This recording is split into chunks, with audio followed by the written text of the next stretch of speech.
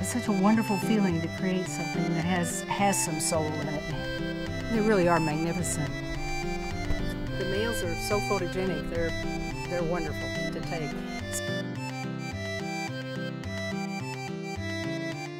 This is a, hu a, huge herd and very small herd of white buffalo, but a huge herd of buffalo, around 300 buffalo out here. Yeah, I have a telephoto lens and I can get up pretty, pretty close to them, to their faces and get details. This is so peaceful up here. It's just so beautiful. It's really its own destiny. That's the closest I've been to. I needed to come down here and get a recording on what the females look like. And then make her beautiful.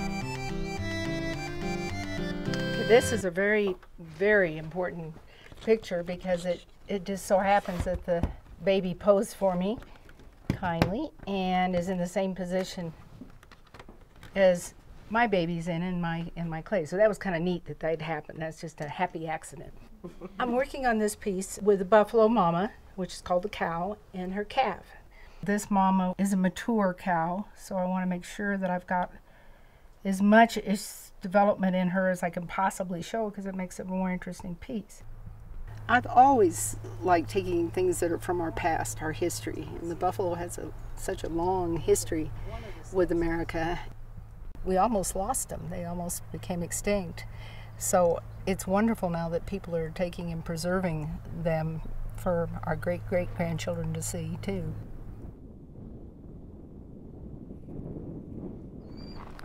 I'm going to try and get a little bit beyond uh, this guy that's standing up here. I literally use up to 100 pictures for reference points. Anytime an artist can go on site of what they're trying to sculpt, it's going to be a better, better sculpture. So that's what experience kind of comes in handy because I, I do kind of have an idea of what this is going to look like when it's patinaed. Even with its massive shoulders, it gives you a portraiture of something with strength and power. And they had to be able to run from uh, humans on horseback and be able to fight back, fight for their herd. We're back to the back. I just happen to like doing the moms and the babies. I, to me, it's the birth of something new. Not often can you say you've got a job that you truly, truly love and can make a living at it. Usually it's the second thing you do in life that's your pleasure.